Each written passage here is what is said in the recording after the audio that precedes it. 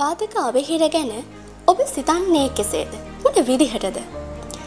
ශ්‍රේෂ්ඨ නිර්මාණශීලී පුද්ගලයකු වන චාන්ස් F කේටරින් වරක මෙසේ ප්‍රකාශ කළා. ඔහු ප්‍රකාශ කරන විදිහට. මම අතීතය ගැන පසුතැවලි නොවෙමි. ම උනන්තු වන්නේ අනාගතය ගැන පමණි. මගේ ජීවිතය ඉදිරිය මා ගෙවන්නට බලාපොරොත්තු වන්නේ අතීතෙහි නොව අනාගතෙහි බව. ඔබ මතක තබාගන්න. ඔබේ ජීවිතේ ඔබ ගතකිරීමට බලාපොරොත්තු වන එ සුන්දර අනාගතය නිශ්චය වන්නේ තිර නාත්මක වන්නේ ඔබේ ආකල්ප මත පමණක්ම බව. එ සඳහා ඔබට අවශ්‍ය සීරු සම්පත් ඔබේ මනසේ ගොනුවේ තිබෙනවා.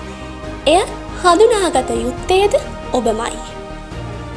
ලෝකයේ සිලු දෙනාටම ස්භාවිකවම අභහිර බාධක පැමිණෙනවා.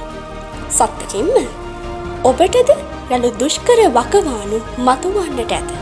ඉදිරියටද මතු විය හැක. ඉතින් කරදර කම්කඩලු නැත්තෙ කාටද අපි හැමෝටම එක්තරා කාලයකදී විවිධ කරදරවලට මුහුණ පානට සිද්ධ වෙනවා.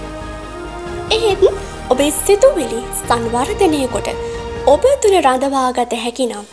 ඇත්ත වශයෙන්ම ඕන්නෑම කේතයක් ඕ නෑම බාධකයක් තම වාසියට හෝ වසනාවට හරවාගත හැකි බව ඔබ සිහියේ තබාගන්න.